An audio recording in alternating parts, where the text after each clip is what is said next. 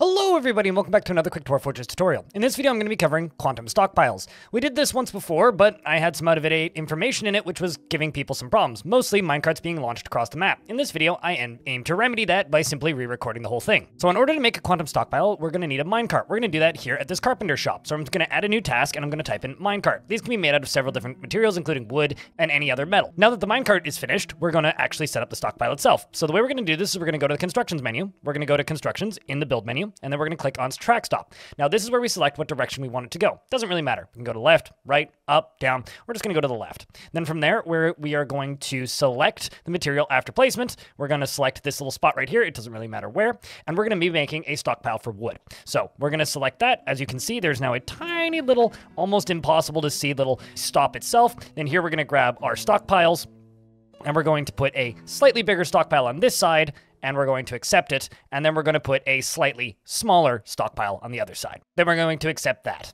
Now, once we've done that, we're going to go to the one on the right over here, and we are going to select wood, right? So now all the wood from the entire vicinity is going to be put into this stockpile. Well, or at the very least, six pieces of wood, because that's as much as can fit in this stockpile. Once the stockpile is full, we're also going to make sure that the second stockpile over here on the left is also set to wood, and then we are going to work with this. Hey, look, a squirrel. Once both sides of this are full of wood, because we added this one as well to be a wood stockpile, I'm going to select set hauling routes for minecarts.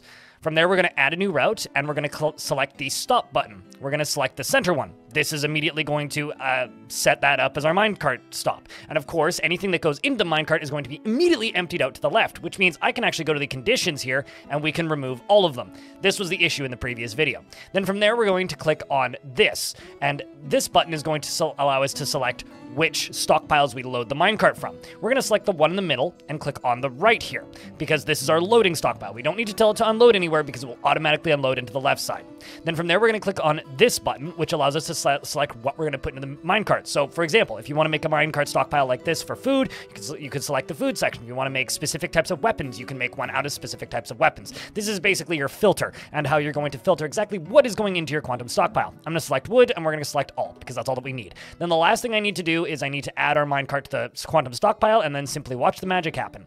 As you can see, although already down here, the Sandpear wood minecart has been added to the stockpile. The dwarves are going to grab it, and now it's just a matter of waiting for them to show up and start moving stuff over. As you can see, all of the dwarves are now loading stuff up. They're doing this task called store item in vehicle, and then they're going to start storing items in stockpiles. And what this is doing is it's uh, every single time they put it into the minecart, it automatically gets booted directly over to the left into this infinite pile. This is just going to keep stacking and stacking and stacking and stacking and stacking and stacking and stacking until we run out of that type of material. We can be as granular with these as we want, selecting only specific types of wood, or as general as we want, selecting literally everything in the fortress, although I wouldn't necessarily recommend that. I personally feel that quantum stockpiles should be used sparingly. However, there are some really interesting applications that you can use them for. Uh, as an example, um, as I'm showing on screen right now, this is a setup in my current fortress where I'm using them to dump bodies into the lava, which is a very effective method of getting rid of everything that you don't want on the map. I once again recommend that you use these sparingly, as they are sort of a bug, but they're at the point where they're an accepted mechanic to the point where just, just about everybody uses them. Use them where you feel you need them in stockpiles that you don't want to see, and use them where you feel you need them where stockpiles need to be heavily organized, where space is confined. And then for the rest of the time, simply use regular stockpiles as they do generally work just fine. Thank you very much for watching this video. If you would like to see more videos like this, check out the YouTube channel, and I will be going back and redoing some of my older tutorials just to correct them and make sure that that information is accurate. The original tutorial of this has been unlisted, but you can find it down in the link in the description of this video. Thank you very much for watching, and I hope to see you in the next one.